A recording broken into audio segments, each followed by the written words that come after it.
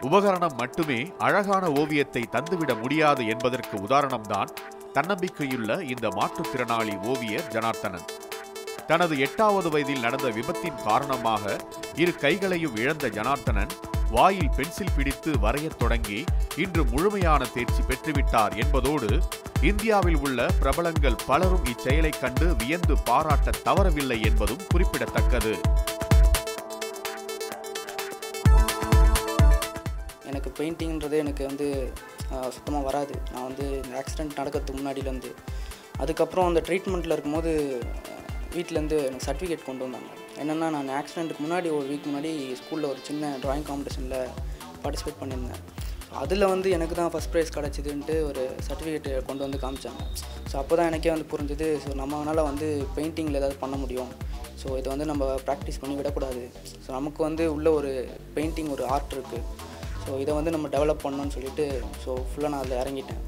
Daily night day night night பன்னெண்டு மணி ஆனாலும் உட்காந்து வரைஞ்சி ப்ராக்டிஸ் பண்ணுறது ஸோ பென்சில்லாம் உள்ள பல்ல குத்திக்கும் ரத்தம் வரும். ஸோ இதெல்லாம் வந்து கொஞ்சம் கொஞ்சமாக ப்ராக்டிஸ் பண்ணி அதையும் தாண்டி வந்து ஒரு நல்ல ஒரு ஆர்டிஸ்ட்டாக இப்போ வந்திருக்கேன்.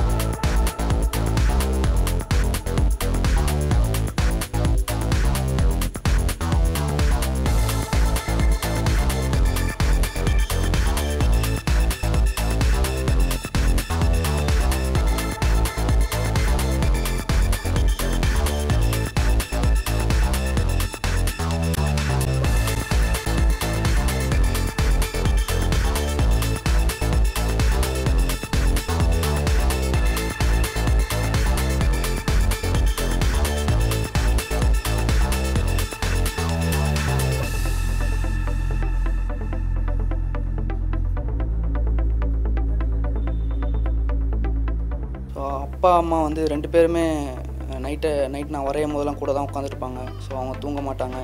ஸோ எனக்கு ஃபுல்லாக நான் வரைஞ்சி முடிகிற வரைக்கும் பக்கத்தில் உட்காந்து ஹெல்ப் பண்ணுவாங்க.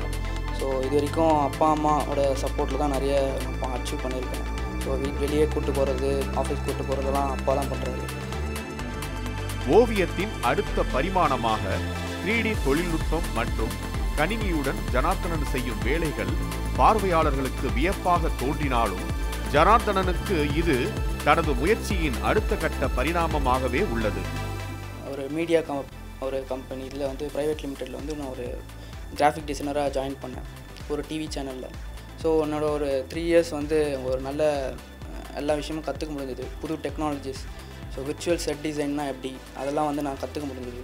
ஒரு த்ரீடியில் ஒரு நல்ல லெவலில் இருந்தேன்.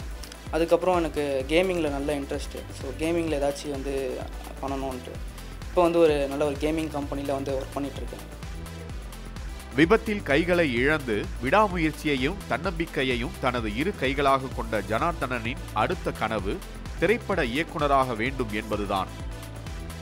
சாதனை படைக்க விரும்புவோருக்கு உடல் குறைபாடு ஒரு தடை இல்லை என்பதை மீண்டும் ஒருமுறை உலகிற்கு உணர்த்துகிறார் ஓவியர் ஜனார்த்தனன். தினேஷ் ரெட்பிக்ஸ் நியூஸ்